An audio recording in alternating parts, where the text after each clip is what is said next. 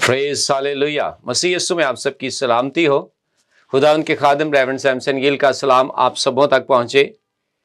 मेरा ताल्लुक salvation for the nation ministry रोज़ पाकिस्तान से है, जिसके मैं फाउंडर एंड चेयरमैन हूँ, और खुदा उनका शुक्र है कि खुदा अपने खादम को, अपने कलाम की वसत अपने नाम के जलाल के लिए इस्तेमाल करता है।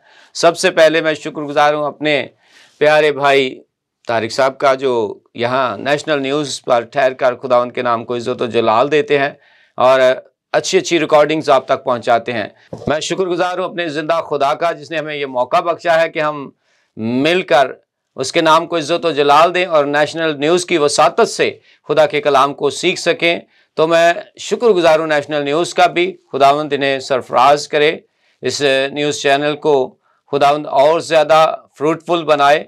और यहाँ पर जितने भी काम करने वाले मेरे भाई हैं जितने भी खिदमत गुजार हैं, उन सबों को खुदावन सरफराजी और तरक्की दे। और एक बार फिर से खुदावन की शुक्रगुजारी करूँगा कि खुदावन ने मैं ये मौका बख्शा कि हम उसके मुखी बात को, उसके कलाम को सीख सकें। सो मेरे अजीज़ों, हम आज सीखेंगे दूसरे कलमा के बारे में। तो आज हम दूसरे कलमा पर गौर करेंगे। ये सात सलीपी कलमात जो हैं, ये बहुत ही अहमियत के हामिल हैं। ये बहुत ही अहमियत के लायक हैं, क्योंकि जब तक हम इन्हें सीखेंगे नहीं, हम मसीह यस्सु की उस अजीम कुर्बानी को समझ नहीं सकते कि जो अपने आखिरी वक्त के अंदर जो यीशु मसीह ने सात कलमात बोले हैं, क्योंकि याद रखिएगा, ज़मीन पर भी अगर कोई शख्स अपनी तबाही, मौत मर रहा होता है या एक्सीडेंट के वसीले किसी वसीला से भी मरता है तो उसके आखिरी अल्फाज जो हैं, वो बहुत ही बहुत ही अहमियत के हामिल होते हैं। इस तरह यीशु मसीह के भी सलीब पर वो सलीबी कलमात, जो सात सलीबी कलमात हैं, बहुत ही अहमियत के हामिल हैं। सो उनमें से दूसरा कलमा मैं आज आप सबके साथ शेयर करूँगा। सो आइए हम खुदा के पाक कलाम में से देखेंगे मुकदस लुका तबीब की मार्फत लिखा गया अंजीली बयान। उसका तेईस बाब और उसकी वर्ष 42 और 43 हम खुदा के पाक कलाम में से पढ़ेंगे। यहाँ पर यू मरकूम है, फिर उसने कहा यसु जब तू अपनी बादशाही में आए तो मुझे याद करना।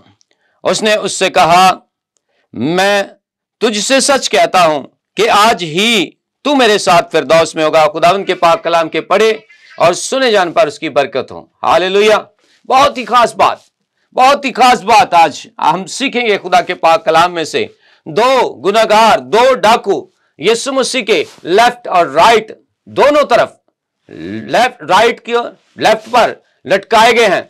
और खुदा के कलाम के मुताबिक अगर हम देखें तो ये जो खुदावन खुदा को, यानी यीशु मसीह को सलीब पर लटकाया गया है, मरते वक्त डाकियों के दरमियान नजात का काम हो रहा था।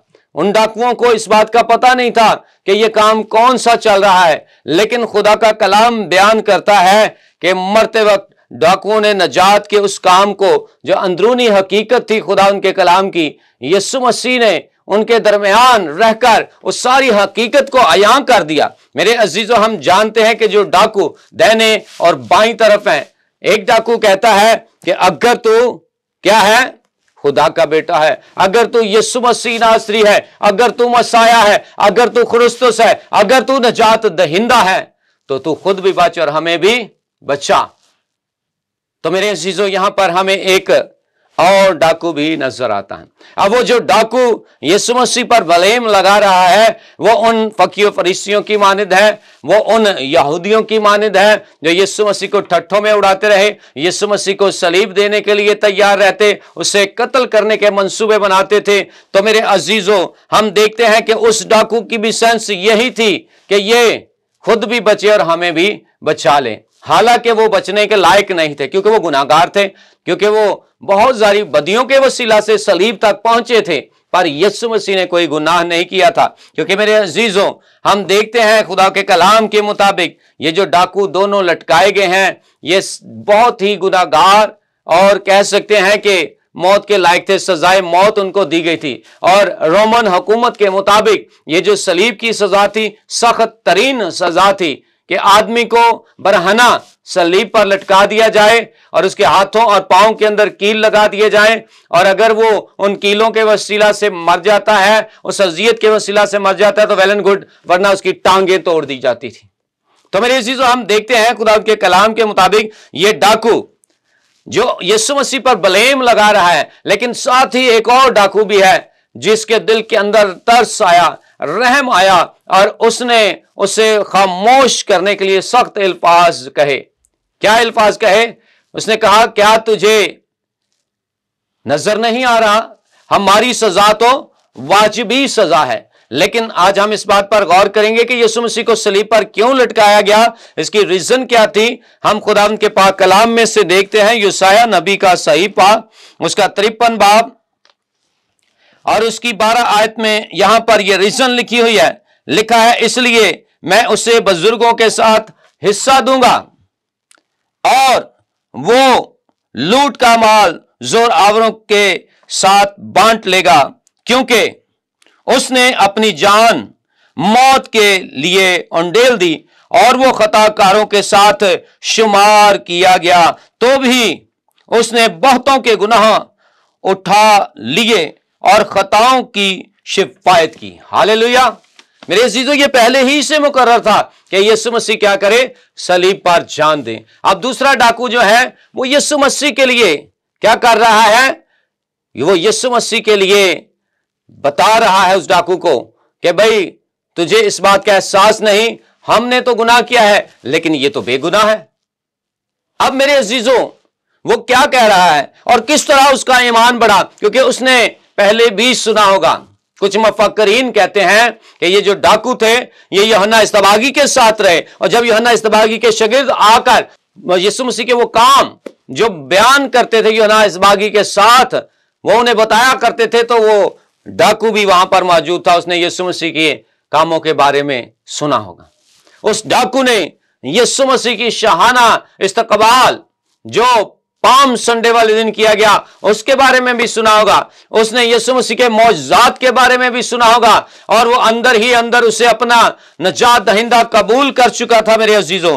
खुदा का कलाम कहता है कि उसने कहा कि हमारी सजा तो वाजबी है, लेकिन इसने कोई गुनाह नहीं किया। अगर हम खुदा के पाक कलाम के अंदर देखें तो मेरे अजीजों, खुदा उनका कलाम हमें सिखाता है कि यीशु मसीह को तो पहले ही मुकर कर लिया गया था, क्योंकि यूसै नबी का सहीफा भी मैंने आपके सामने पढ़ा, उसका तिरपन बाब की बारह आयत के दूसरे हिस्सा के अंदर लिखा है, क्योंकि उसने अपनी जान मौत के लिए ओंडेल दी और वो खताकारों के साथ शुमार किया गया।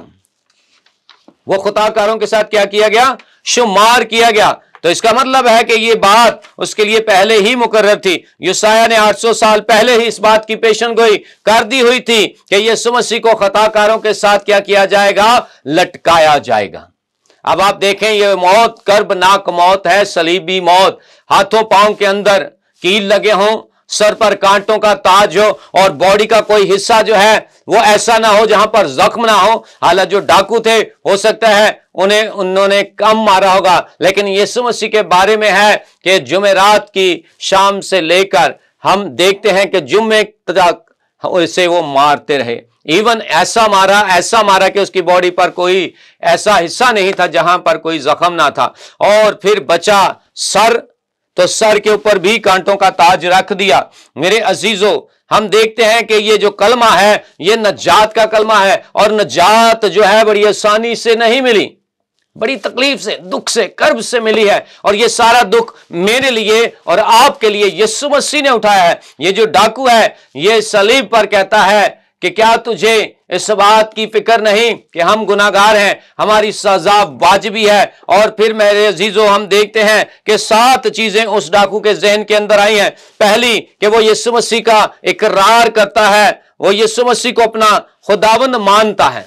दूसरा, वो कहता है कि गुनागार को सजा मिलना बहुत ज़रूरी है।